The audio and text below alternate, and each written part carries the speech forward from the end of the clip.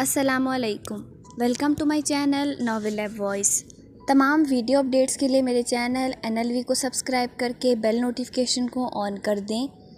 तो आइए सुनते हैं आज की वीडियो में। मुसन्फ़ा निशाल अज़ीज़ का नावल पछतावा इंतकाम। Episode number three Taimur Adiyan का पीछा करते हुए उसके ऑफ़िस में आया था। पर वहाँ अदियान के वार्ड के बराबर में जैन को चेयर पर बैठे आँखें मूंदे देख अलर्ट हुआ। आज इतने दिनों बाद वो जैन को देख रहा था। वैसे भी उसे अब मिस्टर जैड और जैन की इतनी मुशाबहत पर शक होने लगा था। हाय, इतने दिनों बाद दिख रहे हो? अध्यान अपनी चेयर पर बैठता हुआ खुश अखलाक़ी से जैन से पूछने लगा, जिस पर वो सुर्ख आँखें खोल कर उसे देखा था, फिर नज़र हर तरफ़ घुमाने लगा। कहाँ घूमते इतने दिनों से? अध्यान ने फिर पूछा तो जैन ने एक नज़र उसे देखकर अपने लैपटॉप को देखा। कुछ काम में बिज़ी था। तुम सुना, शादी कर ली तुमने? उसने गहरा सांस लेते हुए अदियान से पूछा तो वह मुस्कुरा दिया। हम्म बिल्कुल, पर तुम आए नहीं। बोलकर अदियान फिर उसे देखने लगा तो जैन ने कोफ से आँखें बंद की। कहा तो है, बिज़ी था। अब की बार वो रूखे लहजे में बोलता हुआ अपनी तमाम तर तवज्जो लैपटॉप पर दिए काम करने लगा। अदियान ने कुछ देर खामोशी से उसे देखा, फिर खुद भी अपना काम निपटाने लगा। दूर खड़ा तैमूर जो उन लोगों पर नज़र रखे हुए था। अपने जहन में जब से उमड़ते शक को यकीनी बनाने के लिए जेब से मोबाइल निकाला और जेड का नंबर डायल करने लगा। साथ ही उसकी नज़र जैन पर थी, पर अगले ही लम्हे वो चकरा गया जब जैन और अदियान दोनों का फ़ोन एक साथ बजा। हेलो? उधर तैमूर के फ़ोन पर उसकी भारी आवाज़ गूंजी तो वो बौखलाया। सॉरी सर, गलती से लग गई थी कॉल। वो बोलते साथ कॉल काट गया, नज़र अभी तक वहीं पर थी जहाँ पर जैन अब फ़ोन रख चुका था। पर अदियान अभी तक कॉल पर किसी से बात कर रहा था। तेरा शक सही था तैमूर। वो बुड़बुड़ाया, फिर ऑफ़िस से निकला दूसरे काम के लिए। जल्दी करो। ताहिर अलवी के खुफिया फैक्ट्री के बाहर वो आदमी खड़ा सभी वर्कर्स को ऑर्डर देते हुए बोला, जो बड़ी बड़ी पेटियाँ उठाए ट्रक में रख रहे थे। हो गया मालिक। सभी पेटियाँ रखने के बाद एक वर्कर ने पसीना पोछते हुए उससे कहा हम्म अब जल्दी चलो, ये माल आज ही जाएगा। वो आसपास एहतियातन एक नज़र देखता हुआ धीमे लहजे में बोला, साथ ही ट्रक में बैठ गया। कुछ दूर दरख्तों के पीछे छुमा तैम्बूर संजीदगी से उन लोगों के हर अमल को देख रहा था, फिर ट्रक स्टार्ट होते ही खुद भी कार में जाकर बैठ गया। वो काफ़ी देर तक उस गाड़ी का पीछा कर रहा था, पर अचानक उसका फ़ोन रिंग करने लगा। जेड का नंबर देखकर तैमूर ने कॉल रिसीव की। हेलो सर किधर हो अभी तुम? उसने मखसूस भारी लहजे में पूछा। सर अभी मैं ट्रक से भरी एक अभी मैं ड्रग से भरी एक ट्रक का पीछा कर रहा हूँ, जिसमें चंद मशकूक लोग हैं और यकीनन ये लोग ताहिर अलवी के लिए ही काम कर रहे हैं। वो मुसलसल उस ट्रक का पीछा करते हुए काल पर बोल रहा था। वो ट्रक अभी किस तरफ़ जा रही है? उसने तशवीश से पूछा। सर पता नहीं, ये कोई सुनसान जगह है। पहुँचने पर मैं आपको बताऊँगा। अपनी तेज़ नज़रें ट्रक पर गाड़े, वो बोला, साथ ही गाड़ी की स्पीड थोड़ी तेज़ की। फ़ौरन कार को रिवर्स करो और वापस आओ। उसकी सर्द आवाज़ पर तैमूर को हैरत का झटका लगा। पर क्यों, सर? वह हैरत से पूछने लगा। मैंने कहा फ़ौरन वापस आओ। दूसरी तरफ़ जेड अब धाड़ा था, जिस पर तैमूर ने फ़ोन को कान से हटाकर घूरा, फिर कान से लगाया। सर, कोई रीज़न तो बताएँ क्यों? वह बुझे चेहरे से पूछा, उसे सच में जेड कोई पागल लगा? खुद ही इन्फॉर्मेशन कलेक्ट करने का बोलता है और जब करो तो वापस बुलाता है। बात सुनो, पहले भी बोल चुका हूँ और अब भी बोल रहा हूँ। जितना कहूँ सिर्फ़ उतना किया करो। अभी तुम लड़के फ़ौरन वापस आओ। वह गुर्रा कर ठहरे हुए लहजे में बोला तो तैमूर लब भींच गया। आता हूँ, सर। मुँह बनाकर बोलते हुए तैमूर ने कॉल कट की, फिर मोबाइल डैशबोर्ड पर तकरीबन पटकते हुए कार रिवर्स कर दी और वापसी के रास्ते पर भगाने लगा। दूसरी तरफ़ ट्रक में बैठा वो आदमी अपनी गन लोड करते हुए सर ट्रक की खिड़की से निकालता हुआ पीछे शूट करने लगा, मगर हैरत में उससे शूट ही ना किया गया। जहाँ तक उसे मालूम था, वो मेजर अब तक तो ट्रक का पीछा कर रहा था, फिर अचानक कहाँ गया? ट्रक अपने मकाम पर आकर रुकी तो वहाँ पर पहले से ही एक कार मौजूद थी, जिसके बोनट से टेक लगाए, ग्रीन शर्ट पर जीन्स की पैंट पहने, ब्लैक गॉगल्स लगाए, यमुना दोनों बाजुओं को बांधे खड़ी थी। हो गया काम तमाम? वो बोनट से हटकर उस आदमी के पास आते हुए पूछी जो ट्रक से उतरा था। नो, मैम, वो मेजर पता नहीं अचानक कहाँ गायब हो गया। शर्मिंदगी से उस आदमी ने कहा, are you mad? Tahir Alvi ने तुम्हें इस काम के लिए रखा था कि एक भी निशाना नहीं चूकता तुम्हारा। और ये क्या किया तुमने? एक इंसान को मार नहीं सके? वो चश्मा उतारते हुए गुस्से में उसे झिड़की। सॉरी, मैम, वो सर झुकाए बोला। Sorry my foot, idiot. और अचानक वो जाएगा कहाँ? ये बताओ। अच्छा खासा तो पीछा कर रहा था ट्रक का। यमुना को जैसे बर्दाश्त नहीं हो रहा था, तैमूर का बच निकलना। पता नहीं मैम, मैं खुद हैरान जिस शटअप वो उसकी पात काटते हुए भड़की और साथ ही गुस्से में जाकर कार में बैठी और जन से कार भगा ले गई। एक बार बच सकते हो। हर बार तो नहीं बच सकते ना मेजर। वो तब कर सोचते हुए फुल स्पीड में ड्राइव कर रही थी। वो आज जल्दी ऑफ़िस से निकल आया था और अभी जब से अपने जहाज़ी साइज़ बेड पर लेटा स्मोक कर रहा था क्योंकि उसका वहाँ पर अध्ययन के साथ बैठे दम घुटने लगा था। ये सोच उसकी रगें फुला रही थी कि अब वो लड़की अध्ययन की मलकियत है। ये गेम खेलते खेलते वो उसे गवा बैठा था। दिल का दर्द हद से बड़ा तो उसने गुस्से में उठकर साइड टेबल पर ठोकर मारी, जिससे वो टेढ़ी होते हुए नीचे गिरी और उस पर लगा कांच टूट कर चकनाचूर हो गया। अपनी लहू रंग आँखों को उसने झपका बहुत कोशिश के बावजूद पिछले कई दिनों से उसकी आँखों पर से सुरखाई नहीं जा रही थी। उसे अब अदियान से भी नफ़रत होने लगी, जिसने उस लड़की को चंद महीनों में अपनी मलकियत बना लिया था। वो तो उसकी थी, जैन जुल्फ़िकार अफंदी की। फिर कैसे अब वो किसी और की हुई? कल रात उनका वलीमा था मतलब दोनों ने कल एक साथ खूबसूरत लम्हात गुजारे होंगे। और और आज तो वो उसके फ्लैट पर होगी, उसकी बीवी की हैसियत से। गुस्से की ज़्यादती से जैन का चेहरा हद से ज़्यादा सुर्ख हो गया था। आ, उसकी अजियत भरी धाड़ पूरे घर में गूंजी थी। शदीद जनून की हालत में जैन ने पूरा कमरा तहस नहस करके रख दिया। फिर गिरने के अंदाज में वो ज़मीन पर घुटनों के बल बैठता हुआ अपने बाल जकड़ गया। काफ़ी देर बाद थोड़ा बहुत खुद पर कंट्रोल हुआ तो उसने गर्दन घुमाकर अपने बाजू पर बने उस अनोखे शेर के टैटू को देखा। तमस्खुर उड़ाती मुस्कुराहट ने उसके लबों का अहाता किया। उसका जहन खुद ब खुद अदियान को रास्ते से हटाने का मंसूबा तेज़ी से बुनने लगा था। अपनी दिनों के, अपनी ज़िंदगी के आखिरी दिनों को गिन ले अदियान नियाजी। खून आलूद आँखों से नफीस कारपेट को घूरते हुए वो नहायत नफ़रत से गुर्राया तैमूर का गुस्सा कम होके नहीं दे रहा था। इतने करीब था वो क्लू के, पर अचानक जेड की कॉल पर उसे वापस, उसी इमारत पर आना पड़ा, लेकिन यहाँ पर जेड को ना पाकर उसका गुस्सा बढ़ा था। उसने फ़ोन निकाल कर नंबर डायल किया। तीन बेल के बाद दूसरी तरफ़ से कॉल रिसीव कर ली गई।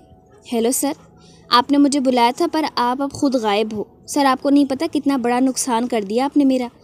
मैं अगर उन लोगों का पीछा करता तो अब तक कितने एविडेंस इकट्ठे हो चुके होते। वो जेड के रिसीव करते ही शुरू हो चुका था। पूरी बात मुकम्मल होने के बाद दूसरी तरफ़ कुछ देर तक खामोशी छाई रही, फिर कहा गया, अगर तुम उसी वक्त वापस ना आते तो हो सकता है कि तुम एविडेंस कलेक्ट करने के लिए ज़िंदा ही ना होते। सुनो लड़के, तुम उन लोगों की नज़रों में आ चुके हो और मैं अपने लोगों की हिफाजत करना अच्छे से जानता हूँ। इसीलिए कहता हूँ तुम्हें कि जो कहा करूँ वो सुन लिया करो। उसने धीमे लहजे में बात मुकम्मल करते ही कॉल काट दी, जबकि इधर तैमूर सख्ते की हालत में था। क्या मेजर तैमूर को मारने की साजिश की जा रही थी? अगर ऐसा हुआ तो इस मुल्क का क्या होगा? तैमूर फ़ोन पकड़े अपने आप ही से बुड़बुड़ाया था। दोपहर को ऑफ़िस से हाफ़ लीव पर फ्लैट में आकर वो नताशा को पिक करते हुए ताहिर अलवी के घर ले गया था। उनके रोकने पर भी अध्ययन वहाँ नहीं रुक रहा था तो नताशा ने उससे रिक्वेस्ट की, जिस पर वो ना चाहते हुए भी मान गया। अब रात को वो लोग ताहिर अलवी के घर से आए थे। अदियान को ड्राइव करते हुए मुसलसल किसी सोच में गुम देख नताशा ने उसे थोड़ी बहुत बात की, पर आगे से उसने मुख्तसर जवाब दिया तो वह ख़ुद भी खामोश हो गई। फ्लैट पर आकर नताशा थकन की वजह से चेंज करके सीधा बेड पर सोने चली गई, जबकि अदियान एक नरम नज़र उस पर डालकर बालकोनी में चला गया। आधी रात को प्यास की शिद्दत से नताशा की आँख खुली तो वो उठकर पानी पी। अभी वो लेटती कि उसे अदियान वाली साइड खाली दिखी। नताशा हैरान हुई। अपनी मंदी मंदी आँखें मसलते हुए वो बेड से उठी थी। वह रूम से निकलने का सोच ही रही थी कि उसे बालकनी से सिगरेट की स्मेल आई। उसने अपने कदम वहीं पर मोड़ लिए। वहाँ जाकर नताशा ने देखा अदियान खामोशी से स्मोकिंग करता, मुसलसल ऊपर नज़र किए खुले आसमान को देख रहा था। अदियान उसके बराबर में खड़े होते हुए नताशा ने उसे पुकारा। पता नहीं, ताहिर अलवी के घर से आने के बाद से वो इतना चुप चुप क्यों था? नताशा के पुकारने पर अध्यान सिगरेट नीचे गिराकर पैरों से मसलते हुए गर्दन मोड़कर उसे देखने लगा। क्या हुआ? वो नरम लहजे में पूछी, जिस पर अध्यान चुपचाप उसकी हेज़ल रंग आँखों में देखने लगा। उसे नताशा की हेज़ल कलर की आँखें बहुत पसंद थीं। महसूस होता जैसे सबस कांच पर किसी ने जर्द रंग की तितलियाँ छोड़ी हों। वो बेसाख्ता उस पर झुकते हुए उन आँखों को चूम गया। नताशा हया से सिमटी थी उसकी इनायत पर। एक बात पूछूँ? उसने धीमी आवाज़ में नताशा का चेहरा हाथों में थामते हुए पूछा तो वो हल्के से इस बात में सर हिलाने लगी। अगर मुझसे कुछ हुआ या मैं नहीं रहा तो? अध्ययन के अल्फाज मुँह में रह गए जब नताशा ने तड़प कर उसकी तरफ़ देखा। हेजल रंग आँखें पल में सुर्ख हुई थीं। अध्ययन ऐसे क्यों बोल रहे हैं आप? वो तड़प ही तो गई थी। उस बेखबर लड़की ने तो सिर्फ़ खुशियाँ देखी थी अपनी ज़िंदगी में। पहली बार किसी गम का सोचकर उसका तड़पना लाजिम था। अरे, क्यूटी पाई, रो तो नहीं। मैं तो बस यूँ ही पूछ रहा था। उसकी आँखों से टप टप आँसू गिरते देख अदियान ने जल्दी से हल्के फुल्के लहजे में कहा, यूँ भी ना पूछे। मुझे अच्छा नहीं लगता ये सुनना भी। वो रुठते हुए बोली, तकलीफ़ वाज तौर पर उसके खूबसूरत चेहरे पर रकम थी। अदियान को हैरत ने आ लिया। वह लड़की जो कभी उसे इग्नोर करती थी, अब उससे जुदा होने के तस्वुर में ही रो पड़ी थी। अच्छा सॉरी नहीं बोलूँगा आइंदा। वह मुस्कुराते हुए बोला, जिस पर नताशा एक नज़र उसे देखकर अदियान से दूर होते हुए वापस रूम में जाने लगी। पर बालकोनी के गेट पर पहुंचकर वो रुकी थी। अदियान यूँ ही गर्दन मोड़े उसकी पुष्ट को देख रहा था। अचानक वो पलटी, फिर चंद कदम उठाकर वापस उसके करीब आई। कुछ लम्हे उसे देखने के बाद नताशा ने एक लंबी सांस ली, फिर पैरों को ऊँचा करते हुए अदियान के नज़दीक चेहरा करके उसके बारीक लबों पर अपने गुलाबी रख गई। गुलाबी लब रख गई। अदियान जो हैरत की मूरत बना उसके इस अनोखे अमल को देख रहा था, अब आँखें बंद किए उसके नरम लम्स को महसूस करने लगा। वो नरमी से उससे दूर हुई थी, पर अगले ही लम्हे अदियान ने उसकी नाजुक कमर के गिर्द अपने मज़बूत बाजू हायल कर दिए। नताशा अध खुली आँखों से अदियान की ग्रे रंग आँखों में देखने लगी, जिसमें अब अलग ही शहर दिख रहा था। वह नताशा को कुछ भी समझने का मौका दिए बगैर उसके नाजुक वजूद को बावजू में भरकर अंदर रूम में ले गया। नताशा उसके सीने पर सर रख कर मुतमिन सी होकर आँखें मूंद गई। रात की खामोशी में दोनों के जज्बात का तलातुम बरपा हुआ था। चाँद उन दोनों के खूबसूरत मिलन पर शर्मा कर बादलों की ओट में छुप गया। ये एक नायाब और ख़ूबसूरत सी फैक्ट्री के तहखाने का मंजर था। अंदर गुप अंधेरे में सिर्फ़ एक छोटा सा बल्ब लगा था, जिससे बमुश्किल आसपास का मंजर नज़र आ रहा था। इस अंधेर तहखाने में कुछ लड़कियों के रोने की तो कुछ के चीखने की आवाज़ें गूंज रही थीं। इन्हीं लड़कियों में से एक लड़की बिल्कुल कोने में घुटनों पर सर रखे, खामोशी से बैठी थी। मोहब्बत के नाम पर माँ बाप को छोड़कर घर से छुप कर निकली थी, पर भूल चुकी थी जो मर्द उसे बहला फुसला कर माँ बाप को छोड़ने का कहे, वो कभी उसका खुद का नहीं हो पाएगा। और अब वो कम अकल लड़की एक इंसान की शक्ल में भेड़े की हवस का शिकार बने बिल्कुल सकते के आलम में थी। उसके इर्द गिर्द लड़कियाँ जिनमें से कुछ अगवा होकर तो कुछ उसी की तरह झूठी मोहब्बत के बहकावे में यहाँ तक लाई गई थी। बुरी तरह रो रही थी, पर उसे जैसे आसपास से कुछ मतलब ही ना था। वो बस यूँ ही मुँह घुटनों में छुपाए बैठी थी। सुनो, उन्हीं लड़कियों की भीड़ में से एक लड़की जो कब से उसे नोट कर रही थी, उसे पुकार बैठी पर आगे से कोई रिस्पॉन्स ना मिलने पर वो अपनी जगह से उठकर उसके पास आई। नाम क्या है तुम्हारा? आपकी बार वो लड़की उसके कंधे पर हाथ रख कर पूछी थी। इजहा बिना सर उठाए उसने यूँ ही जवाब दिया, तुम कब से हो यहाँ पर? अपने आँसू पोछते हुए उस लड़की ने पूछा, पता नहीं? पहले की तरह नहायत मुख्तसर जवाब दिया गया। अगवा किया था तुम्हें? वो लड़की उसकी बेरुखी पर भी हिम्मत नहीं हारी। उसे भी कोई चाहिए था अपना दिल हल्का करने के लिए। पिछले दो महीने से एक ही जगह पर रहते रहते उसका यहाँ दम घुटने लगा था अब। नहीं। फिर रूखा जवाब आया, मेरी तरह झूठी मोहब्बत की मारी गई हो ना? उस लड़की की इस बात पर इजहा ने तड़प कर अपना चेहरा उठाया और वो लड़की शदीद हैरत के आलम में उसके चेहरे को देखे गई। आंसुओं से भीगा, कम उम्र, मासूम, सुर्ख सफ़ेद चेहरा, नहायत नूरानी सा था। वो चंद लम्हे तक कुछ बोल ही ना पाई। क्या इतनी कम उम्र लड़की भी इन सब चक्करों में पड़ सकती थी? उसे मुश्किल से सामने बैठी वो मासूम लड़की सत्रह अठारह साल की लगी थी। तुम भी क्या? कुछ देर बाद मुश्किल उसके मुँह से लफ्ज़ अदा हुए थे। मुझे अकेला छोड़ दें। इस बार इजहा थोड़ा बुलंद आवाज़ में तलखी से बोली थी। साथ ही वापस घुटनों पर सर रख गई। वह लड़की चंद लम्हे उसके झुके सर को दे गई, फिर खामोशी से उठकर वहाँ से चली गई। मेरे रब, सिर्फ़ एक मौका दे दे। नहत हल्की सी बुड़बुड़ाहट में वो भीगी आवाज़ में वही विरत करने लगी, जो वो जब से कर रही थी। दो हफ्तों बाद आज तैमूर जितनी भी इंफॉर्मेशन कलेक्ट हुई थी, वो जेड को दिखाने जा रहा था।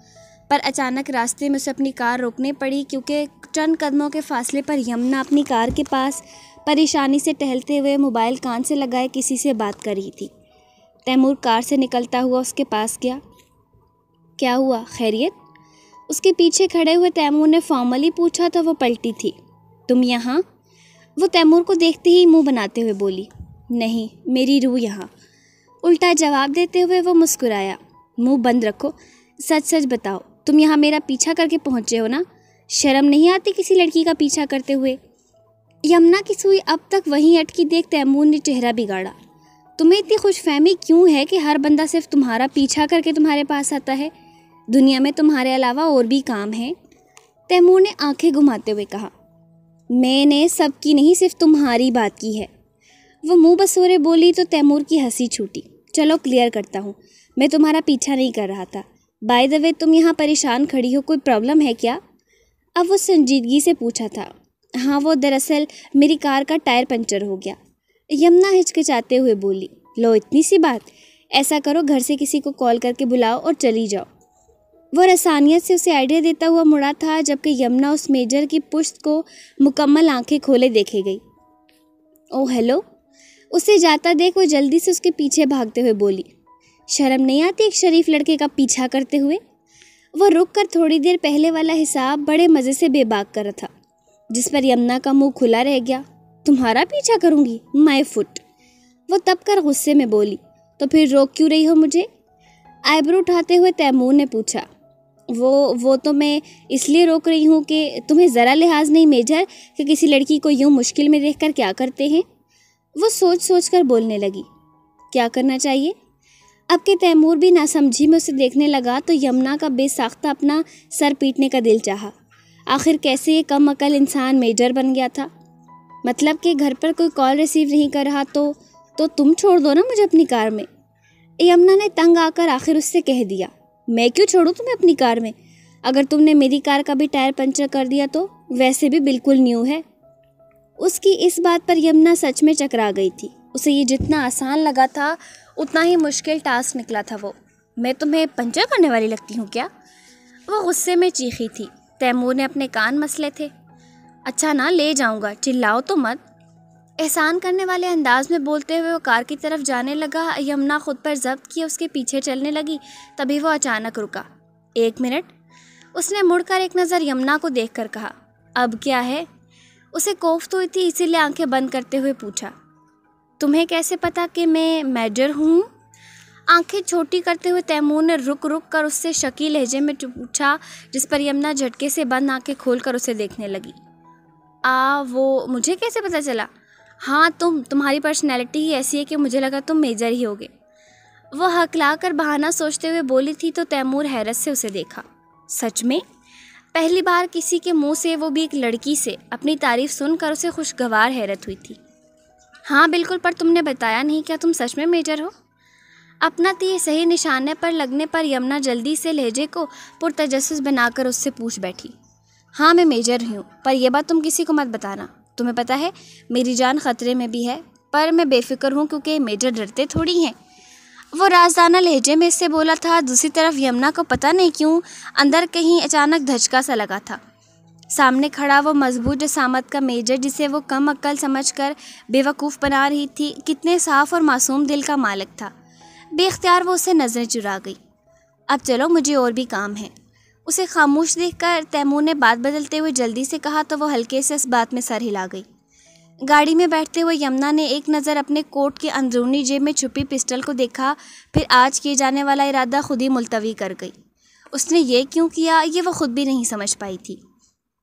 आज छुट्टी के दिन अदियान के साथ वो शाम को बाहर घूमने निकली थी। ढेर सारी शॉपिंग करने के बाद जब नताशा ने उससे बाहरी डिनर की फरमाइश की तो वह मुस्कुरा कर सरस बात में हिला गया। और अब अदियान उसे खूबसूरत रेस्टोरेंट में लेकर आया था, पर कार से उतरते ही कुछ आदमियों ने अदियान को घेरा था। नताशा बेसाख्ता घबराई, आपसे एक ज़रूरी बात करनी है। उनमें से एक आदमी जिसने ग्लासेस लगाए हुए थे, अदियान को बोला, आप लोग कौन हैं? वो उन सब पर एक नज़र डालता हुआ पूछा अर्जेंट बात है, अकेले में करनी है, साइड में आए। उस आदमी ने अब की बार नताशा को एक नज़र देख कर कहा, जिस पर वह अदियान के पीछे हुई। एक मिनट रुकें। नताशा, ऐसा करो, तुम अंदर जाओ, मैं आता हूँ। अदियान मुड़कर नताशा को बोला तो वह नफ़ी में सर हिलाने लगी। चंदा, बात सुन लिया करो, तुम जाओ अंदर, आ रहा हूँ मैं। अब की बार अदियान ने नरमी से उसे समझाया। नताशा उसके पीछे खड़े उन आदमियों को एक नज़र देख कर लबों पर जबान फेरते हुए आहिस्ता कदम उठाती हुई रेस्टोरेंट के अंदर जाने लगी।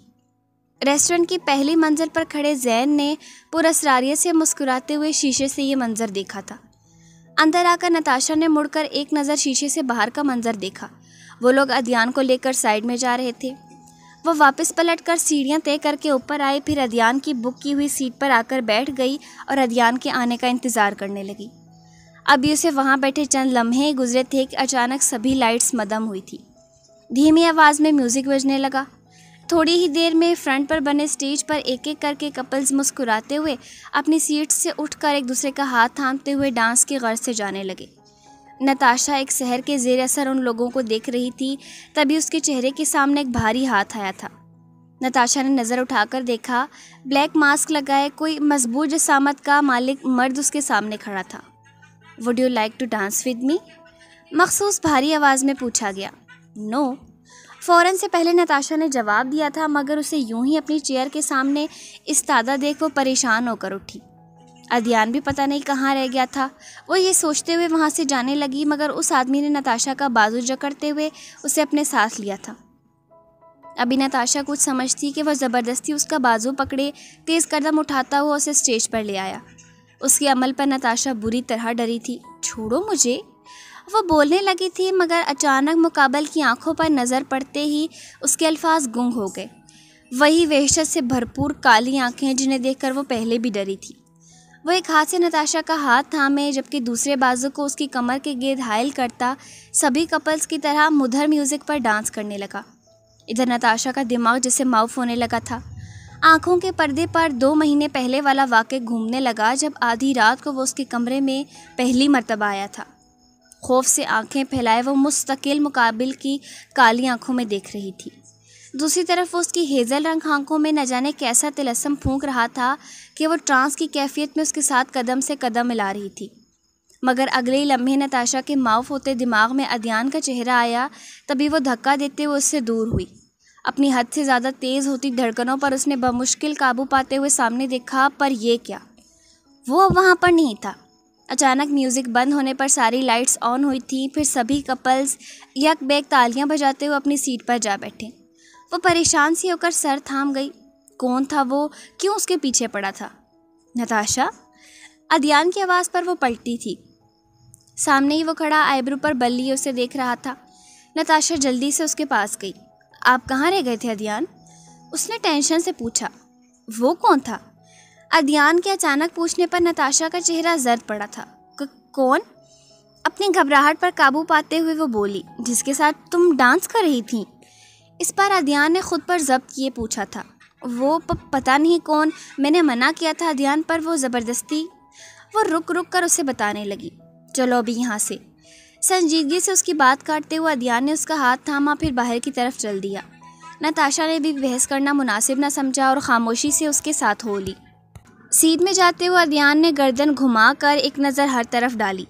तभी उसे कोने में एक सीट पर जैन बैठा नज़र आया जो तमस्खुर उड़ाती नज़रों से उसे देख रहा था। उसे देखकर अदियान ने पहली मरतबा नागवारी से निगाह फेरी थी। आप परेशान लग रहे हैं? रात को अलवी मेंशन के हॉल नुमा लाउंज के सोफे पर बैठे ताहिर अलवी को पेशानी मसलता देख यमुना ने पूछा हम्म, नहीं। उन्होंने मुख्तसरन कहा मुझसे छुपाएँगे?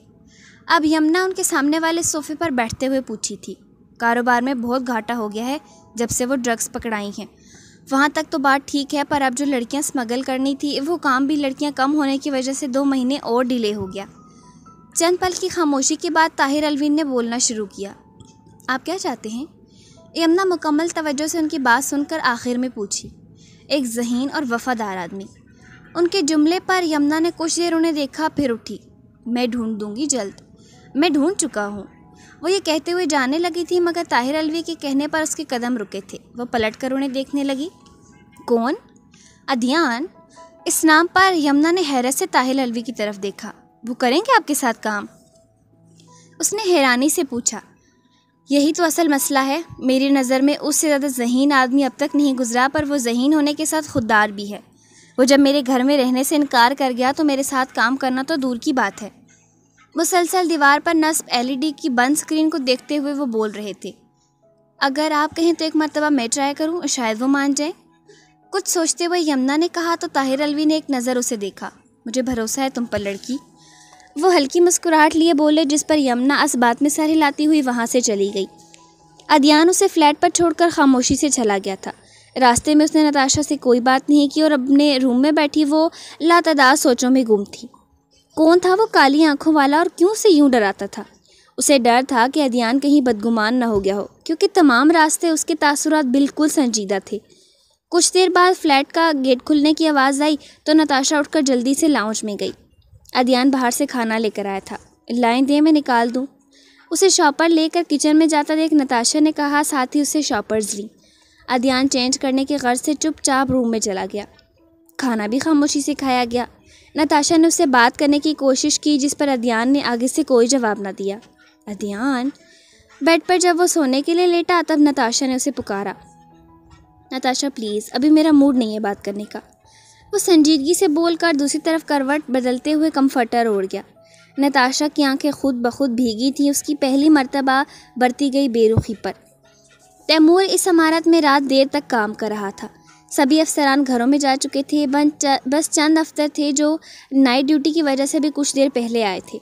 अपना काम करके जब वो फारिग हुआ तो बैग सीट करके निकलने लगा, तभी उसकी नज़र स्क्रीन के आगे लगी। बहुत सी चेयर्स में से कोने वाली चेयर पर गई जहाँ मिस होमा बैठी थी। ये यहाँ की लेडी अफसरान में से सबसे सीनियर थी और अपना काम काफ़ी दिल जमी से करती थी, पर अभी उन्हें वहाँ बैठे सोचों में गुम देख तैमूर के हैरत हुई। मिस हुमा उनके पास आते हुए तैमूर ने पुकारा तो वो उसकी तरफ़ मुतवजह हुई। आप ठीक हैं? उसने पूछा, जिस पर वो हल्के से इस बात में सर हिला गई। अगर कोई प्रॉब्लम है तो आप मुझसे शेयर कर सकती हैं। वो संजीदगी से बोलते हुए बराबर में रखी चेयर पर बैठ गया। वो जानता था कि मिस हुमा बेवा थीं। ससुरालियों ने घर से निकाला तो मेके आ गई, पर घर में कमाने वाला कोई नहीं था। बाप की पेंशन से थोड़ा बहुत गुजारा होता, इसी वजह से वो खुद कमाने निकली थी। बीमार बाप और माँ समेत एक छोटी बहन के साथ वो मिडिल क्लास फैमिली से ताल्लुक़ रखती थी, फिर भी हर वक्त खुश रहती थी। पर कुछ दिनों से उन्हें संजीदगी के लिबादे में देख तैमूर को थोड़ी तशवीश हुई और आज उसने फ़ैसला किया उनसे वो प्रॉब्लम जाने की, जिसकी वजह से वो इतनी गायब दिमागी से हर काम कर रही थी। तैमूर, आप जानते हो मेरा कोई भाई नहीं, इसीलिए मैं हमेशा आपको छोटे भाई की तरह ट्रीट करती हूँ। कुछ पल की खामोशी के बाद उन्होंने बहुत ठहर ठहर कर बोलना शुरू किया। जी तैमूर मुकम्मल तवज्जो से उसकी बात सुनने लगा। चंद दिन पहले रात के तीसरे पहर मेरी छोटी बहन वो बोलते हुए रुकी थी। बोले, तैमूर ने कहा, वो वो मेरे कज़न के साथ घर से भाग गई। हमने बहुत ढूंढा पर वो नहीं मिली। उस कज़न के घर गए तो अंकल ने कहा, वो ख़ुद कई दिनों से घर पर नहीं है। रसवाई के डर से हमने किसी को ये बात नहीं बताई, पर अब मैं काफ़ी तौर पर तफ्शीश की वजह से कर रही हूँ, जिसकी वजह से मालूम हुआ कि वो लड़का उसे कहीं बेच चुका है। अब कि उनकी आवाज़ भराई थी, जबकि तैमूर आँखें फाड़े उनकी बात सुन रहा था, क्योंकि जहाँ तक उन्होंने उसे बताया था, उनकी छोटी बहन सिर्फ़ सत्रह साल की थी।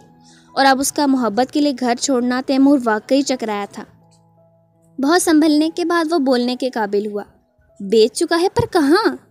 उसके सवाल पर मिस हुमा चंद लम्हे चुप रहीं। उस लड़के का मोबाइल हैक किया था जिससे सिर्फ़ लोकेशन पता लगी है। और कुछ इन्फॉर्मेशन मिलने से पहले ही डिस्कनेक्ट हो गया था। शायद मोबाइल उसने बंद कर दिया या फिर कहीं तोड़कर फेंक दिया होगा। पर असल परेशानी का सबब तो वो लोकेशन है। आँसू पोछते हुए उन्होंने टेंशन में तफसीलात बताई। क्यों? कहाँ की लोकेशन पता चली है? तैमूर ने तशवीश से पूछा, ताहिर अलवी की एक फैक्ट्री की। उनकी बात पर तैमूर को और हैरत हुई। ताहिर अलवी की तो बहुत सी फैक्ट्रियाँ थीं और उसमें से जाने किस आदमी की आम की बस की बात न थी। आप आप फ़िक्र मत करें हम कोशिश करेंगे आपकी छोटी बहन समेत और भी लड़कियों को बाजियाब करा सकें। तैमूर ने उनकी ढारस बांधते हुए कहा, जिस पर वो खामोश रहीं। सुबह खुद पर कुछ नरम सा महसूस करके नताशा की आँख खुली थी। मंदी सी आँखें खुलने पर उसने जो मंज़र देखा, उस पर नताशा की आँखें मुकम्मल खुल गईं। बेड जिस पर वो सो रही थी, मुकम्मल गुलाब के फूलों से भरा हुआ था और ख़ुद उसके ऊपर भी चंद पत्तियाँ गिरी थीं। वो उठकर बैठी तब पैरों पर भी ठंडा नरम एहसास हुआ। नज़र नीचे गई तो नई खुशगवार हैरत हुई। रूम के कारपेट पर हर तरफ़ गुलाब की पत्तियाँ बिछी हुई थीं। वो हैरत से हर तरफ़ देख रही थी, तभी अदियान नाश्ते की ट्रे लिए अंदर आया। मेरी स्वीट सी वाइफ के लिए स्वीट सा नाश्ता। वो मुस्कुराते हुए बोलकर ट्रे बेड पर रखा था, जबकि नताशा हैरत से उसे देख रही थी। वो तो नाराज़ सा उससे और, अदियान, आप आप नाराज़ नहीं? वो उसे देखते हुए बोलने लगी। ओ मेरी जान, कौन बेवकूफ़ शोहर हो जा जो अपनी क्यूट सी वाइफ से नाराज़ होगा? हाँ मैं डिस्टर्ब था, पर अब ठीक हूँ। उसकी पेशानी चूमते हुए अदियान ने कहा, कल की नाराज़गी का शायबा तक न था, अब उसके वजी चेहरे पर। लेकिन अदियान, मुझे सच में नहीं पता कि वो कौन। प्लीज़ नताशा, मैं कल की बात करके आज का दिन ख़राब नहीं करूँगा। आज मैंने बहुत कुछ प्लान किया है तुम्हारे लिए, और एक ख़ास बात। आज मैं पूरा दिन अपनी वाइफ के साथ गुजारने वाला हूँ। नताशा की बात नरमी से काटते हुए अध्यान ने उसके गिर दोनों बाजू हायल करके प्यार से कहा, सच? पर आपका ऑफ़िस खुशी से नताशा बोलने लगी थी, पर अचानक याद आने पर उसने पूछा, वो मैंने आज छुट्टी ली है। आखिर को कल मेरी क्यूटी पाई इतना रोई है, उसका हिसाब भी तो बराबर करना है ना? उसके बोलने पर नताशा को शदीद हैरत हुई। वो तो रात को सोच चुका था, फिर उसे कैसे नताशा का रात को रोना सुनाई दिया? अपनी बात मुकम्मल करते ही अध्यान झुककर उसके गाल पर लब रख गया, जिस पर नताशा खुलकर मुस्कुराई थी। चलो अब जल्दी से नाश्ता करते हैं, फिर बाहर चलेंगे। गाल पर से लब हटाकर तैमूर ने कहा तो नताशा मुस्कुरा कर बात में सारी लाते हुए उठकर वॉशरूम में गई। आज उसे आठ दिन हो गए थे यहाँ पर आए हुए। इस रविश नामी लड़की की बहुत कोशिश पर अब उसने थोड़ी बहुत उससे बात करनी शुरू हुई दी थी। यहाँ पर सिर्फ़ एक टाइम उन लड़कियों को खाना मिलता, जिनसे बमुश्किल ही उनका पेट भरता। बाकी पूरा दिन वो कभी इस जगह से निकलने की नाकाम कोशिशें करती तो कभी थक हार कर रोने लगती। वो इन सब में वाहिद थी जो बिना चीखे, बिना निकलने की कोशिश किए बस एक ही जगह पर यूँ ही बैठे रहती। वो सिर्फ़ अपने खुदा की बारगाह में दुआ करती कि बस उसे एक मौका मिल जाए। अजीब से शोर पर उसने सोचों के भंवर से निकल कर देखा। सब लड़कियाँ एक दूसरे से तकरीबन चिपकी हुई चीख रही थीं। उन लड़कियों की आवाज़ के साथ उसे मर्दाना आवाज़ भी सुनाई दी। क्यों? इजहा को हैरत हुई क्योंकि पिछले एक हफ़्ते से इस जगह पर उसे मर्द तो दिखे थे, पर वो खामोशी से पहरादारी करते थे, ताकि उनमें से कोई लड़की भागे ना, पर अब मर्दों की आवाज़ पर खड़ी ही हुई थी कि रविश ने उसे पकड़कर वापस नीचे झुका दिया। क्या हो रहा है? उसने रविश से पूछा, जिसका चेहरा भी खौफ की वजह से पीला पड़ रहा था। इजहा वो लोग फिर आ गए। उसने सरगोशी में इजहा को कहा, जिस पर उसने अचंपे से उसे देखा। कौन लोग? तुम्हें नहीं पता? यहाँ पर हर एक या दो हफ़्ते बाद तीन आदमी आते हैं और वो हम में से तीन लड़कियों को अपने साथ उठा कर ले जाते हैं। फिर दूसरे दिन वो उन लड़कियों को वापस यहाँ फेंक देते हैं। रविश कप कपाते लहजे में उसे सब बता रही थी, जिस पर आपकी बार इजहा के भी रूह फना हुई थी। अगर उन, उन्होंने मुझ, मुझे वो पहली बार हकलाई थी, इसीलिए कह रही हूँ, इजहा झुकी रहो। अगर उनकी नज़र पड़ गई तो? ये बात बोलते ही रविश ने बेसाख्ता झुरझुरी ली। इस लड़की को उठा ले। उनमें से एक आदमी की आवाज़ गूंजी थी, जिस पर रविश ने पलट कर देखा। उसी के पीछे हल्का सा टेढ़ा होकर इज़ा ने बोलने वाले की तरफ़ देखा, पर उसकी आँखें फैली थी। उस आदमी का इशारा रविश की तरफ़ देखकर। रविश का खुद का चेहरा जर्द से सफ़ेद पड़ गया था। उस आदमी के कहने पर दूसरा खबासत से हंसता हुआ उन लोगों की तरफ़ आने लगा। नहीं छोड़ दो मुझे, छोड़ो। उसके छूने पर रविश रोते हुए चीखी थी, पर उसने ज़बरदस्ती रविश को उठाकर उल्टा की अपनी कमर पर डाल लिया, पर वो पागलों की तरह खुद को छुड़ाने की कोशिश किए, चीख रही थी। इधर इजहा के जैसे समात मअतल हो गए थे। इतनी सी उम्र में ये सब देखना उसका दिमाग बुरी तरह मफलूज हुआ था। वो साकेत नज़रों से उन आदमियों को रविश समेत और भी दो लड़कियों को ले जाता देख रही थी। अचानक उसकी आँखों के सामने अंधेरा छाया और वो लहरा कर वहीं ज़मीन पर गिरी थी। उस नीम अंधेरे कमरे में एक बार फिर लड़कियों की रोने और चीखने की आवाज़ें गूंजने लगी थीं। एक भरपूर शाम गुजार कर नताशा और अदियाना फ्लैट पर पहुँचे थे। वह खुद को दुनिया की सबसे खुशकिस्मत लड़की तस्वुर कर रही थी और करती भी क्यों ना। अदियान की शक्ल में उसे खुदा ने इतना अच्छा शोहर दिया था जो उसे खुश रखने के लिए हर वक्त कुछ ना कुछ करता। मैं थक गई। रूम में आते ही नताशा ने थकान ज़्यादा सी होकर कहा, क्यूटी पाई, एक बात बताओ, तुम हमेशा इतनी जल्दी क्यों थक जाती हो? वो उसके पीछे आते हुए बोला, साथ ही वॉच उतार कर कीज़ और वॉलेट समेत ड्रेसिंग पर रखी। क्यों आपको लगता है मैं झूठ बोल रही हूँ? उसकी बात सुनकर नताशा ने दोनों हाथों को कमर पर रखकर उससे इस्तफसार किया। अरे नहीं जान, मैं तो सिर्फ़ ये कह रहा हूँ कि बिना मेरे कुछ किए तुम थक जाती हो। चलो, आज मैं खुद तुम्हें थकाता हूँ। उसकी नाजुक कमर को अपनी गिरफ्त में लेते हुए अदियान ने मुस्कुराते हुए कहा, जिस पर नताशा के गाल सुर्ख पड़े। अदियान? वो उसे घूरी थी शर्म से मुस्कुराकर। जी, अदियान की जान बोलते साथ अध्यान उसके लबों पर झुकने लगा, मगर तभी उसका फ़ोन रिंग किया। उसे नरमी से छोड़ते हुए अदियान ने जेब से मोबाइल निकाला। एक मिनट। नंबर देखकर उसने कहा, साथ, कॉल रिसीव की। हेलो? जी, सर? जी, वॉट पर, सर, अभी? कहते हुए मुसलसल उसके एक्सप्रेशन बदल रहे थे। नताशा, जो उसे बात करता देख चेंज करने की गर्ज से ड्रेसिंग रूम में जा रही थी, अब उसकी परेशान ज़दा आवाज़ पर रुकी थी। क्या हुआ ध्यान उसके फ़ोन रखने पर नताशा ने पूछा, यार, मैनेजर का फ़ोन था। कह रहे ज़रूरी काम है, बॉस ने बुलाया है। वो चेहरा बिगाड़े बोला, ओह तो आप जाएँगे? नताशा ने उसके पास आते हुए पूछा, जाना तो पड़ेगा, पर यार, ये क्या दुख हुई? छुट्टी ली थी मैंने, हद करते हैं बॉस भी। बेजारियत से वो बोला, साफ़ वाजे हो रहा था, उसका बिल्कुल दिल नहीं कर रहा जाने का। अगर ज़रूरी काम है तो चले जाएँ अध्यान पर कोशिश करिएगा कि जल्दी आ जाएँ। वो उसे समझाते हुए बोली, डर तो उसे भी लग रहा था। अध्यान हमेशा ऑफ़िस से शाम को आ जाया करता था और अब रात को उसका जाना, अकेले रहने का सोचकर वह खुद डर रही थी। जल्दी आ जाऊँगा और तुम गेट मत खोलना, चाहे कोई भी आए। पहले मुझे कॉल करना और डरना नहीं, ओके? अध्यान उठकर ड्रेसिंग से कीज़ और वॉलेट उठाता हुआ बोला, साथ ही उसकी पेशानी चूमता हुआ रूम से निकला, क्योंकि फिर से फ़ोन रिंग करने लगा था, जो ज़रूर मैनेजर का ही था। तैमूर, जो अदियान के फ्लैट के बाहर दो लेडी अफसरान के साथ जेड के कहने पर खड़ा था, अब अदियान की दूर जाती कार को देखते हुए जेड का नंबर डायल करने लगा।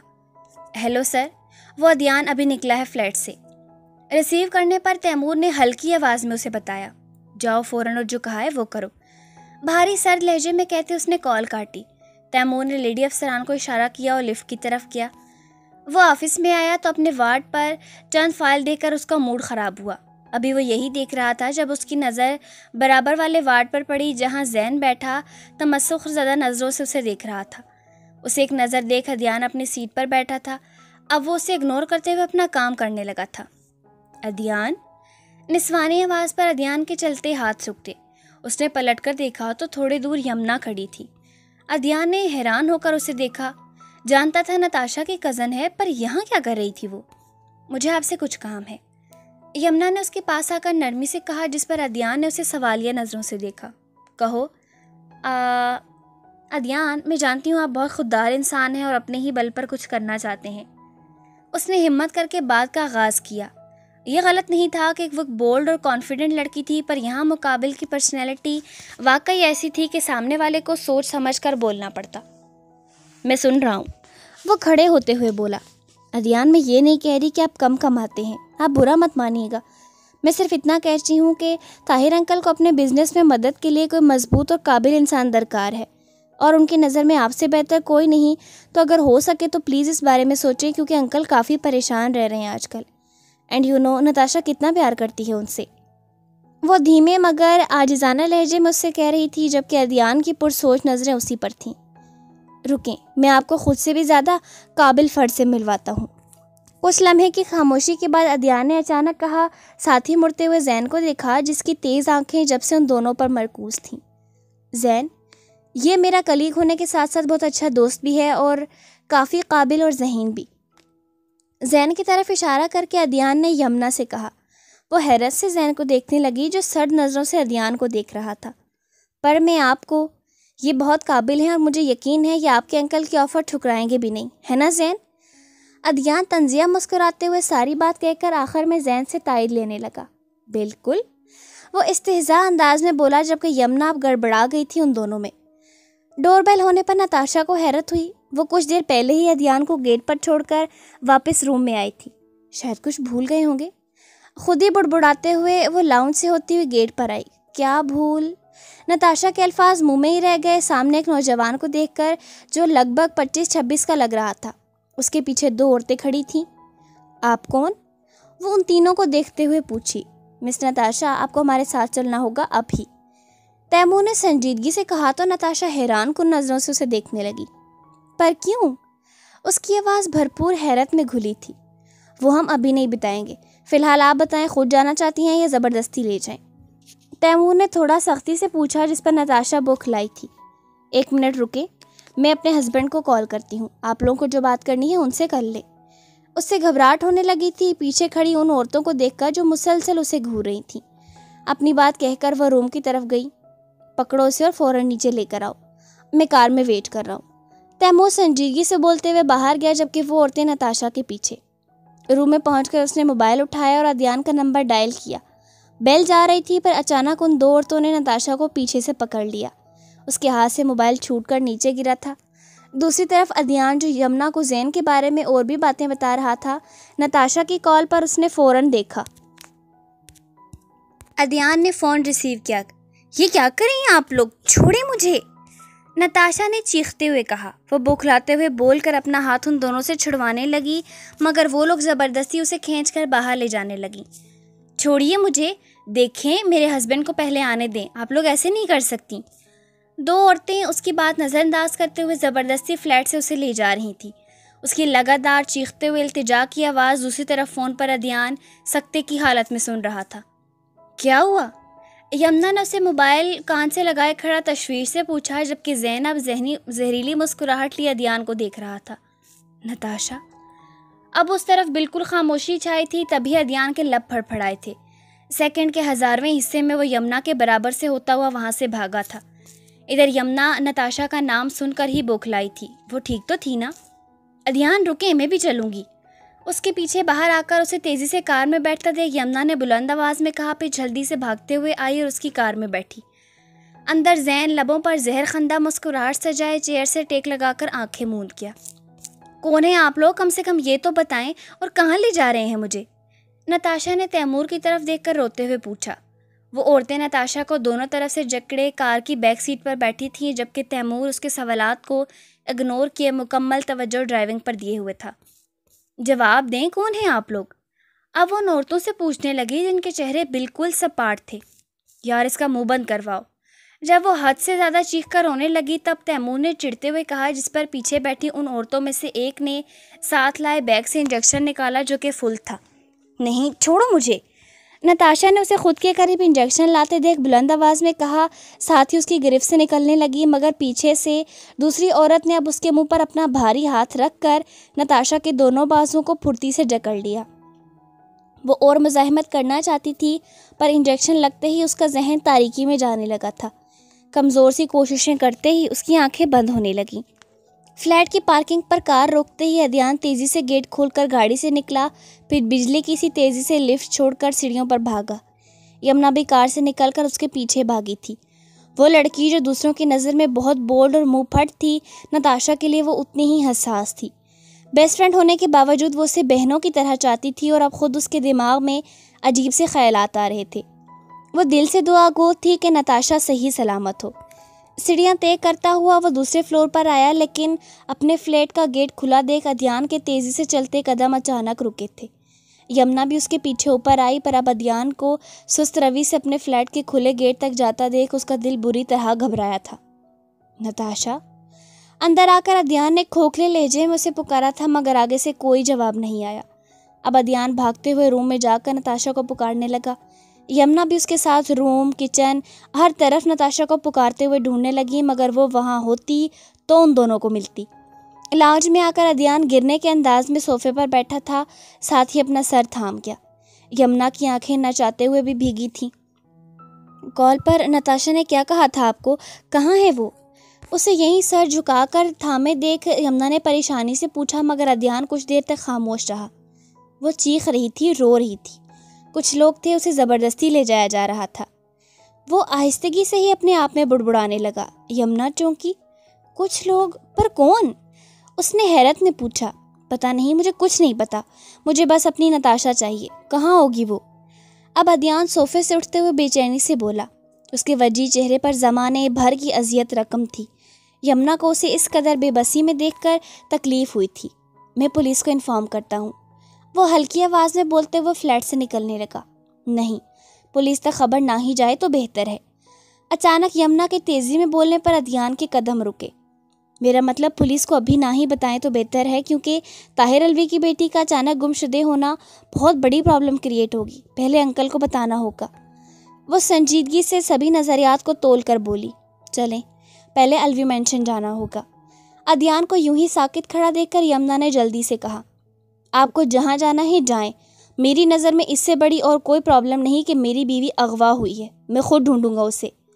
उसे सख्ती से कहकर अध्यान फ्लैट से निकला था, जबकि लफ्ज़ अगवा पर जमुना का यमुना का जहन अटका था। नताशा का मासूम चेहरा आँखों में घुमा तो वो बेसाख्ता सी इसकी नहीं, वो वो ठीक होगी। आहिस्ता से यमुना के लब हिले थे। कमिश्नर ने उसे कॉल करके ऑफ़िस में आने का कहा था। और अब वो उसी के इंतज़ार में बैठे थे, तभी नाप घुमाते हुए कोई अंदर दाखिल हुआ। अंदाज ऐसा था जैसे अपना ही ऑफ़िस हो। बिना इजाज़त लिए वो अंदर आया था और उनके सामने रखी चेयर छोड़कर हमेशा की तरह ऑफ़िस में कोने पर रखे सोफे पर वो बैठा था। तुमने क्यों किया ये? उन्होंने थोड़ा सख्ती से उसे इस्तफसार किया। क्या किया मैंने? उल्टा अनजान लहजे में उसने सवाल किया और दोनों बाजुओं को सोफे की पुश्त पर फैला लिया। जैसे तुम तो जानते ही नहीं कि तुमने क्या किया। ताहिर अलवी की बेटी को क्यों पकड़ा तुमने? उसके अनजान बनने पर वो बरहम हुए। सिंपल, क्योंकि मेरी नज़र में वो वाहिद सस्पेक्ट है जो ताहिर अलवी के बहुत करीब है। एंड आई नो उसके ज़रिए मुझे काफ़ी मालूम भी मिल सकती हैं ताहिर अलवी के ख़िलाफ़, क्योंकि वो बाहर से मासूम दिखने वाली लड़की अंदर से बहुत ही शातिर है। बोलते हुए आखिर में उसका लहजा खुद ब खुद कड़वा हुआ था, और मैंने तुम्हारी बात पर यकीन कर लिया। सुनो, मैं अच्छे से जानता हूँ तुमने ताहिर अलवी की बेटी को मालूम हासिल करने के लिए कैद नहीं किया, बल्कि तुमने उसे टॉर्चर करके ताहिर अलवी को तड़पाने के लिए कैद किया है। वो अब सोफे पर थोड़ा झुककर उसकी आँखों में देखते हुए बोले थे, जिस पर वो तमस्खुर ज़्यादा सा मुस्कुराया। आपसे बेहतर मुझे कौन जान सकता है, अंकल? उसके इस्तेजा अंदाज में कहने पर कमिश्नर की पेशानी पर बल पड़े। नहीं, मुझे लगता है मैं भी तुम्हें आज तक नहीं जान पाया। कब क्या करो, कुछ समझ नहीं आता। देखो बेटा, तुम्हारी माँ और बहन के साथ ताहिर अलवी ने जो किया, उसकी सज़ा तुम उसे दो। पर उसकी बेकसूर बेटी को क्यों बली का बकना बना रहे हो? उसके पास बैठते हुए उन्होंने तहमुल से समझाया तो उसने अपनी सुर्ख होती आँखों से अपने बराबर में उन्हें देखा। वो लड़की बेकसूर नहीं है और अगर वो लोग मेरी माँ और बहन के साथ उस वक्त इतनी हिवानियत बरस सकते थे तो फिर मैं तो दरिंदा हूँ जो उस लड़की को तड़पाने के लिए खुद तड़प रहा हूँ। ठहर ठहर कर वो जहर खंदाज लहजे में अजियत से गुर्राया। साथ ही झटके से उठकर तेज़ कदम उठाता हुआ उनके ऑफ़िस से निकला था। कमिश्नर ने उसकी पुश देखते हुए नफ़ी में सर हिलाया। अदियान ने पुलिस में इन्फॉर्म किया, जिससे ये खबर जंगल की आग की तरह हर तरफ़ फैली थी। ताहिर अलवी के पास लातदाद कॉल्स आ रही थी, मगर वो इन सब कॉल्स से बेबहरा होकर अपने कमरे में मुसलसल परेशानी से चक्कर लगा रहे थे। यमुना वहीं पर बेड पे बैठी थी।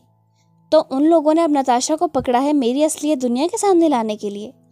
वो दाएँ बाएँ चक्कर लगाते हुए तलखी से बोल रहे थे। किन लोगों ने? यमुना ने उनसे पूछा, वो एजेंट, ये लोग कुछ भी करेंगे मेरी असलियत सामने लाने के पर मैं भी देखता हूँ कैसे कामयाब होंगे ये लोग अपने प्लान में। वो दीवार पर लगी अपनी पुरवकार तस्वीर को देखते हुए बुड़बुड़ाए। तभी रूम का गेट नॉक हुआ। इजाज़त देने पर जब मुकाबिल अंदर दाखिल हुआ तो उसे देख ताहिर अलवी के जबड़े तने थे। तुम? अदियान को देखते ही उनके अंदर तक कड़वाहट घुली, जबकि यमुना उसके झुके सर को देख अदियान की थकी हुई हालत समझ रही थी। तुम्हें मैंने कहा भी था कि नताशा के साथ शादी के बाद मेरे मेंशन ही रहो। पर नहीं तुम पर तो भूत सवार था खुददारी का। अब बोलो कहाँ है मेरी बेटी? कदम उठाकर उसके पास आते हुए उन्होंने तड़क कर पूछा जिस पर अदियान ने लहू रंग नज़रें उठाकर उन्हें देखा। गिरे आँखों में वाज तकलीफ़ और अजियत थी। मैं अपनी बीवी को ढूंढ लूँगा अंकल। उसने धीमे मगर पुर यकीन लहजे में कहा हम्म, औकात तो चार बंदे खरीदने की नहीं और आए हो बोलने कि मैं अपनी बीवी को ढूंढ लेगा। देखो अदियान न्याजी मैं अपनी बेटी को जहाँ से भी छुड़वा कर ले तो आऊँगा, पर अब वो तुम्हारे साथ उस फ्लैट में नहीं रहेगी। अगर तुम अब उसका साथ चाहते हो तो उसके आने के बाद यहीं इसी मेंशन में रहोगे। ताहिर अलवी को अब उसकी बिखरी हालत देख थोड़ा बहुत लहजे को संभाल कर बोले, अदियान, आप थोड़ा रिलैक्स हो जाएँ। अंकल है ना, वो ढूंढ लेंगे नताशा को। आए, मैं आपको रूम दिखा दूँ। अदियान का ख़राब होलिया देख कर यमुना को बेसाख्ता उस पर तरस आया। तभी वो हल्की आवाज़ में बोली, साथ ही उठकर रूम से निकलने लगी। मेरी बीवी जब तक मुझे नहीं मिलेगी, तब तक मैं रिलैक्स नहीं रहूँगा। और अंकल, आपने औकात की बात की है मुझसे। अब मैं आपसे हद की बात करता हूँ। अपनी बीवी को ढूँढने के लिए अब मुझे किसी भी हद तक जाना पड़े, मैं जाऊँगा। वो यमुना को बोलकर आखिर में दांत पीसते हुए ताहिर अलवी से कहने लगा। बात के अख्ताम पर वो मुड़ा था और तेज़ कदम उठाता हुआ वहाँ से निकला। ताहिर अलवी ने नागवारी से उसकी पुश्त को देखा। यमुना पता करवाओ उन लोगों ने नताशा को कहाँ रखा है? चाहे कुछ भी हो, नताशा को उनके चुंगल से निकलवाना ही है। सुन रही हो ना तुम? उसके जाने के बाद उन्होंने यमुना से कहा, जिस पर वह इस बात में सर तो हिला गई, पर जहन उसका भी माउफ होने लगा था। दिल में बार बार ये विर जारी था कि नताशा ठीक हो। आज सुबह नाश्ते के बाद सभी लड़कियाँ थोड़ा बहुत आराम के गर्ज से नीचे ठंडे फर्श पर लेटी थीं, पर वह चुपचाप गुमसुम सी बैठी थी। कल वो लोग रविश समेत उन दो लड़कियों को लेकर गए थे और अब तक उन्हें नहीं लाया गया था। कल जो भी हो, उसके डर से इजहा ने अभी तक नाश्ता भी नहीं किया था। अचानक उस नीम अंधेर जगह पर थोड़ी रोशनी हुई, साथ ही वही मर्दाना आवाज़ें गूंजी। सभी लड़कियाँ जल्दी से उठकर बैठी थीं, इजहा भी घबरा कर खुद में सिमटी। यहीं पर फेंक दे। अजीब लोफराना आवाज़ गूंजी। इजहा ने थोड़ा सर ऊँचा करके देखा। गेट खुला था, तीनों लड़कियाँ उनके कंधे पर उल्टा लटकी थीं। पर कल की तरह वो अब चीख नहीं रही थी, बल्कि होशो हवास से बेगाना थी।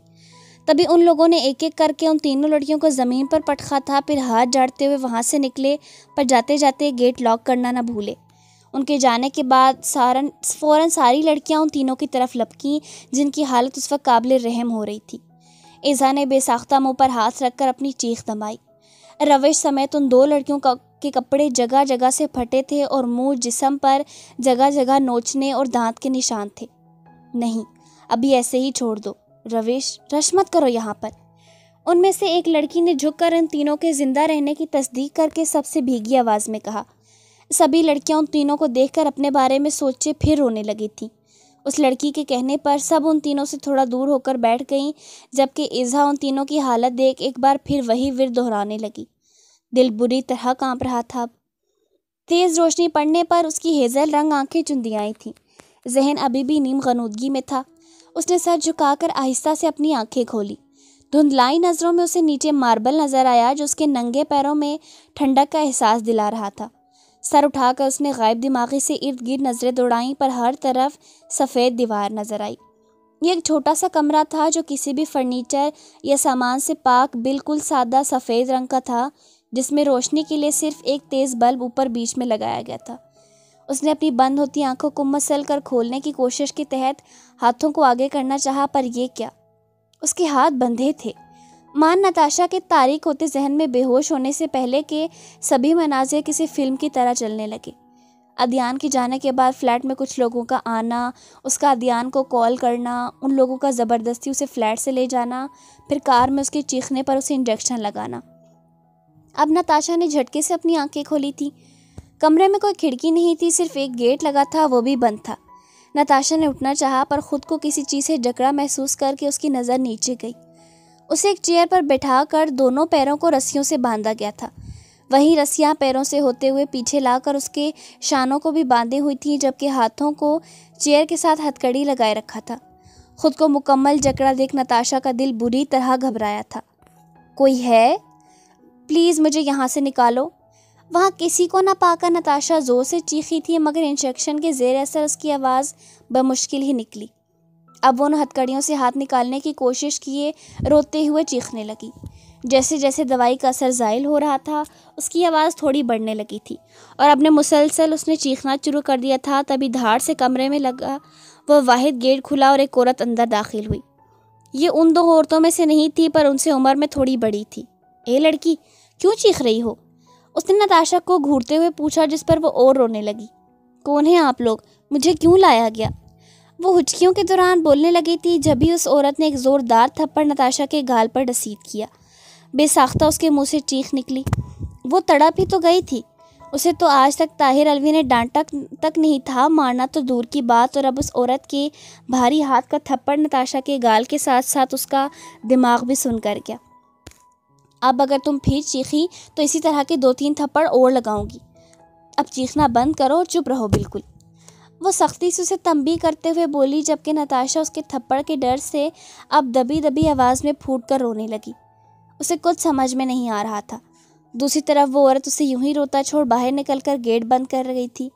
रो रो कर जब उसका गला सूखने लगा, तब नताशा को शदीद प्यास लगी। कोई है पानी उसके लब हल्के से फड़फड़ाए। एक तो पहले ही थप्पड़ से उसकी गाल सनसना रहे थे और ऊपर से अब प्यास से उसकी जान निकलने लगी थी। अचानक सब कुछ कैसे बदला था? वो तो अध्ययन के साथ एक खूबसूरत शाम गुजार कर आई थी। अध्ययन उसके नाम पर दिल में एक और टीस उठी। अब तक तो अध्ययन को पता चल चुका होगा उसकी गुमशुदगी का। तो फिर कहाँ था वो? काश के वो ढूंढ ले उसे।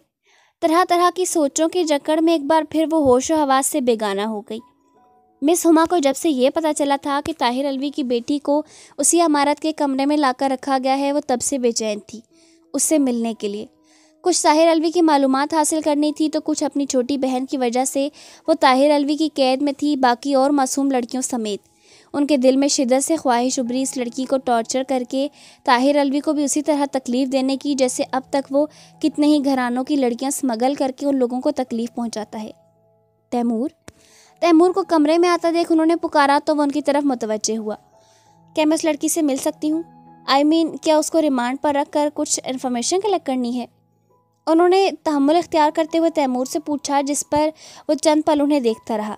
नो मिस हुमा दरअसल अभी सर ने कोई ऑर्डर नहीं दिया और जब तक सर नहीं कहते हम कुछ नहीं कर सकते उनकी बेचैनी वो नोट कर रहा था इसीलिए सिचुएशन संभालने के लिए बोल ही रहा था कि उसका फ़ोन रिंग करने लगा। हेलो सर उसकी कॉल देखते ही तैमूर ने बात अधूरी छोड़कर कॉल रिसीव की। कुछ इन्फॉर्मेशन मिली? मखसूस सर लहजे में पूछा गया, जिस पर तैमूर गड़बड़ाया। नो सर, मैं तो आपकी परमिशन का वेट कर रहा था। वो बौखलाया था। मतलब जब तक मैं नहीं कहूँगा, तब तक तुम लोग कुछ नहीं करोगे। इस बार उसने सख्ती से कहा तो तैमूर ने चेहरा बिगाड़ा। सर, पर अब जो कह रहा हूँ, वो करो। सबसे पहले तुम उस लड़की से अलवी के पर्सनल लॉकर का पूछोगे। फिर मैं कॉल करूँ तो लॉकर का पता मालूम होना चाहिए तुम्हें। इज़ दैट क्लियर तैमूर की बात काटते हुए उसने धीमे लहजे में उसे हिदायत दी जिस पर तैमूर का मुँह बना। पर सर, मैं ये पूछना चाहता हूँ कि अगर वो ना बताए तो क्या करें? तैमूर ने मिस हुमा का इशारा समझते हुए उससे पूछा, सिंपल, टॉर्चर सेल में ले जाना। अब चाहे जो भी करो उसके साथ, पर लॉकर का पता मालूम करो। उसकी इजाज़त पर तैमूर ने एक नज़र मिस हुमा को देखा, जिनके चेहरे पर अब पहले की तरह बेचैनी नहीं थी, बल्कि तंजिया मुस्कुराहट थी। साफ़ वाजे था, वो जेड की बात सुन चुकी है। Okay, sir. उसके हामी भरते ही दूसरी तरफ़ से कॉल कट कर दी गई। मैं जाऊँ तैमूर? अब तो सर की इजाज़त भी मिल चुकी है। तैमूर के फ़ोन जेब में रखने पर उन्होंने कहा, ताहिर अलवी अपना पर्सनल लॉकर कहाँ पर रखता है, ये आज रात तक पता करके बताएँ। वो हल्के में पूछा था, जिस पर मिस हुमा इस बात में सर हिलाकर रूम से निकल गई। कैसी हो? इजहा ने रवेश से पूछा, जिस पर उसने खाली नज़रों से इजहा को देखा। उन तीनों को होश आए, घंटा हो चुका था। दो लड़कियों को तो रो रो कर बुरा हाल हो रहा था, बाकी लड़कियों ने संभालने के साथ खुद भी रोए जा रही थी। जबकि रविश दीवार से टेक लगाए जब से खामोश बैठी थी, तभी इजहा उसके पास आकर बैठी। वो लोग जानवर हैं, या शायद जानवर से भी बदतर।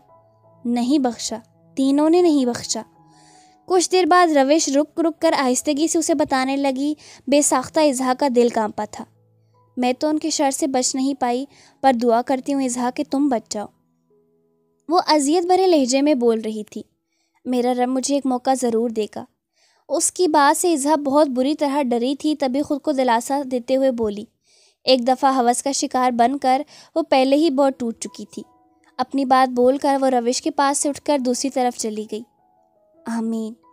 रविश ने उसकी पुष्ट देखकर कहा, साथ ही अजियत से आँखें मीच ली।